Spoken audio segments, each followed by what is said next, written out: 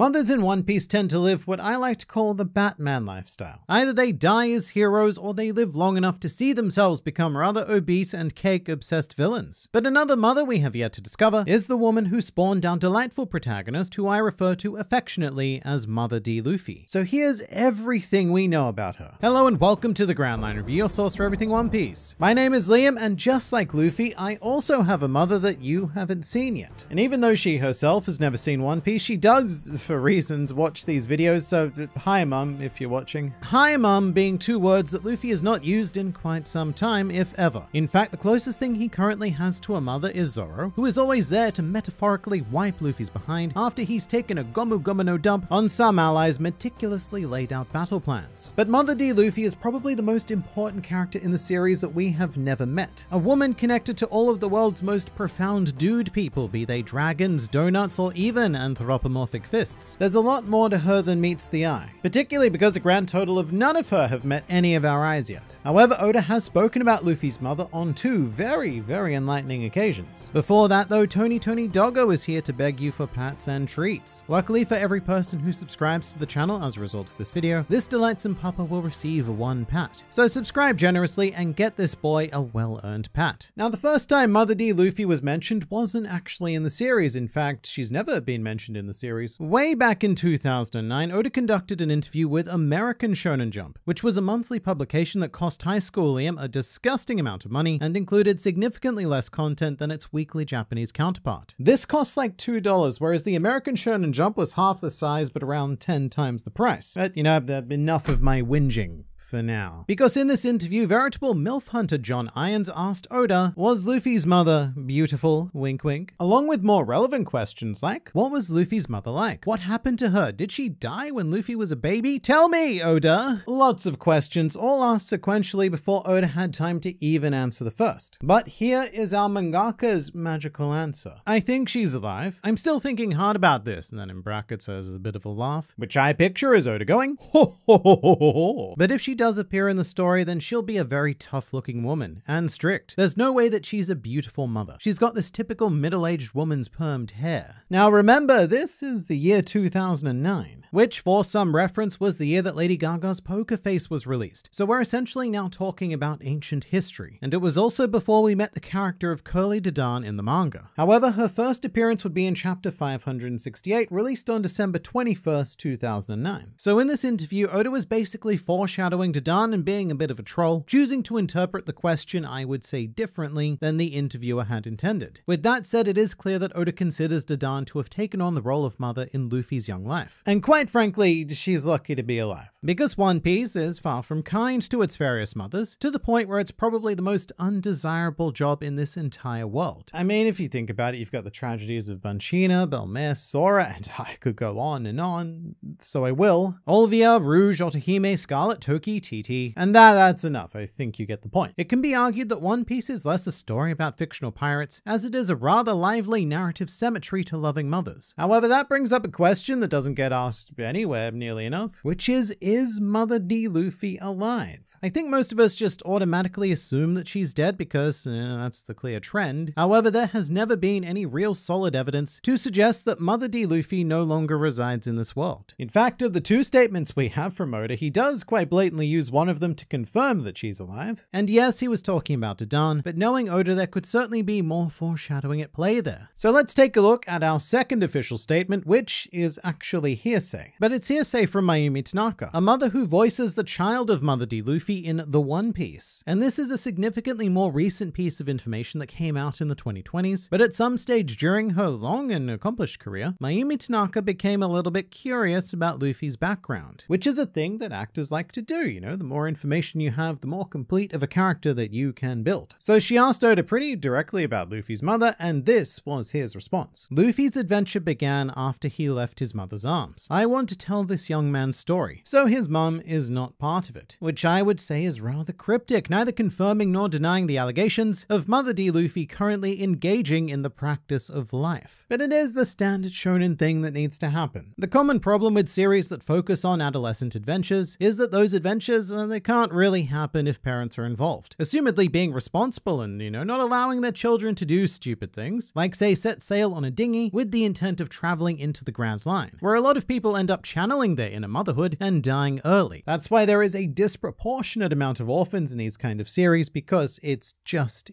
easier. But with the critical mass of absentee fathers in One Piece, there's clearly room to break that mold with an absentee mother, although I would personally find it quite unlikely. Going by the standards of what Oda has both said and done, it feels like Luffy's mother is going to remain out of the picture, because this is his adventure, and just like Christmas lunch, getting family involved is something that only leads to disaster and regret, so let's not do it, let's not invite them. However, there is also a very One Piece answer to Mother D. Luffy potentially being alive. We know that Luffy is unfamiliar with his father, but for all we know, he could be very well aware of who his mother actually is. Towards the end of the series, the topic could just come up randomly, and I could see Luffy going, Oh, yeah, yeah, mom, haven't seen her in a while. Been too busy with all of my adventure and punch fighting. Maybe, I still think it's unlikely. Right now, it feels like if she was featured at all, the future purpose of Mother D. Luffy would be for some sort of eventual dragon flashback. A tragic death, perhaps actioned by the very deformed hands of the world nobles. Some personal tragedy to really kickstart his quest of bringing down the system and enacting the justices or whatever it is he wants to do. We're not entirely sure yet. Funnily enough, at this moment, Dragon is treated by the world government much more like what we know of Rocks D. Xebec, very much being labeled as a terrorist-style operator. And I think it would be really interesting if and when we get to Rocks, if he wasn't that at all, and he was more like the dragon of his time. Anyway, Rocks got punched by Garp, and Garp is the granddaddy of Luffy, and therefore Garp is somehow related to Mother D. Luffy. I say somehow because, well, it's not entirely clear. The assumption for most of One Piece has been that Dragon is Garp's son, given that they both share that key monkey name. However, Garp has never actually referred to Dragon as such. He usually says something more along the lines of your father as opposed to say my son. At one point, he even said to Luffy, you're just my kid's kid, which I just find interesting because we're using some very roundabout language there to make sure that we don't necessarily confirm Dragon as having been crafted from the seed of Garp. And I would be really interested if Mother D. Luffy was actually Garp's daughter, because knowing his luck, she would have been a raucous pain in the collective behinds of every Marine, perhaps even being the first of his family to become a pirate, or even an early revolutionary. And as for why Dragon would have the monkey name, well, I've done a whole video about this before, but it's not uncommon in Japanese culture for a man to be adopted into a family via marriage, which is called Mukoyoshi. The reason why I would personally want Mother D. Luffy to be Garp's daughter, though, is because it would lower the chances of her being some sort of random, irrelevant civilian. Whereas if Dragon is the true wearer of those Garpy Garpy genes, then Mother D. Luffy is more likely to be a random woman who didn't do a whole lot except for exist and then give birth and then stop existing, which is scientifically known as the Rouge phenomenon. Whatever the case may be, Luffy's mother is always a bit of a hot topic within the fanbase, as many, let's say, imaginative individuals believe that we have already met her. I'm sure you're all familiar with the Crocomom theory. I've done a video on it before, so I'm not going to go over it again here. But if a character is female, or at least has the potential to become female, which is surprisingly doable, then inevitably it is speculated that said character is Luffy's biological mother. For example, on Reddit there is a post from a user whose whose name I won't say because I'm fairly certain it's racist, but he argues that Stussy is Luffy's mother, with the main piece of evidence being, and I quote, similar name to Luffy. Luffy,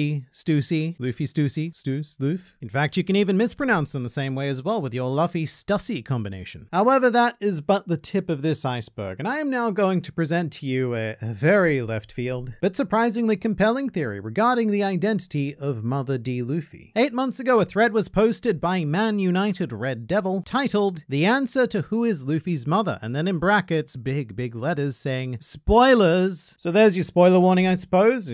Take that as you will. Okay, so, so first things first. What do we know about Luffy's mom? Which I guess I'm going to say because this person probably isn't Australian anyway. The one thing that Oda revealed about her is that we have already met her. Since most female characters have met Luffy, you would assume that they would have told him like, BTW, I'm your mom. So I did some digging, and there is really only one character that makes sense, Laboon. Now, hear me out. I know on first glance it may sound ridiculous, but if you really think about it, it makes sense. It does sound ridiculous, but, but just stay with me, because Reddit user with stupidly long name has a five-point plan of refutable evidence. Not refutable, irrefutable. A five-point plan of irrefutable evidence. You might say, wait, Laboon is male, right? That's wrong. Looking at the size of the whale, Laboon is far bigger than other whales the series has shown us, and as everyone knows, female whales become larger than males. It would make sense for Brooks' crew to just assume he was a male, cause how would they even know to confirm the gender? Hmm. Well, I've actually been to the Penis Museum in Reykjavik, and I can safely say that whale gender is it's almost impossible to miss, but let us continue. The first time we met the Laboon, we noticed how much she wanted to meet back up with her Nakama. Kind of similar to Luffy after the time skip trying to get back to his crew. We even see Laboon smashing her head against the mountain non-stop. Now we know where Luffy gets his perseverance from, and that, I have to admit, is true. I've often described Luffy's fighting style as just you know, repeatedly smashing his head against a brick wall until it breaks, so I'm back on board with this theory for now. Animal names, monkey, dragon, whale. Still working on this one, TBH, but it makes sense. It makes about as much sense as a post-time skip disco, which is none because he is a homeless alcoholic. It needs to be a character that we will revisit since we have already met her,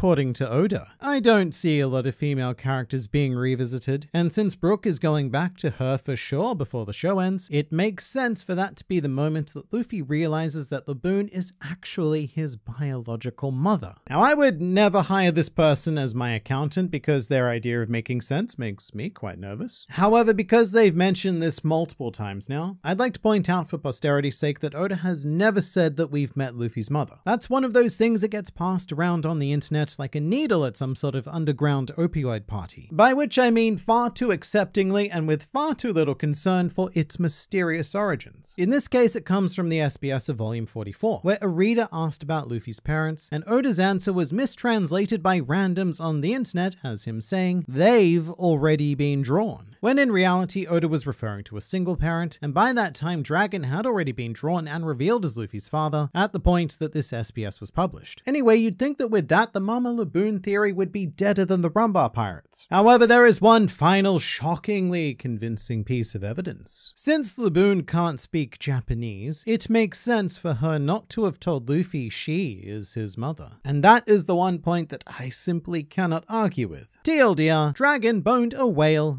in a monkey. So kindly say hello to our new canon Mother D. Luffy. And then say hello to this next video by, by watching it. It's good and stuff, and I look forward to seeing you there.